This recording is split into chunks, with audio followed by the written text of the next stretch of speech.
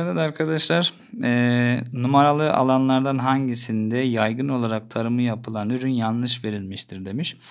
Eee, bir ayçiçeği demiş arkadaşlar. Ergene bölümü doğru.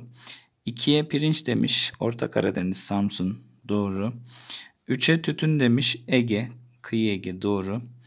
5 numaralı yer şeker pancarı İç Anadolu doğru. Ama 4 numaralı yere zeytin demiş arkadaşlar. 4 numarada zeytin yetişmez çünkü iklim bölgesi uygun değil. Doğru, doğru cevap Denizli'dir.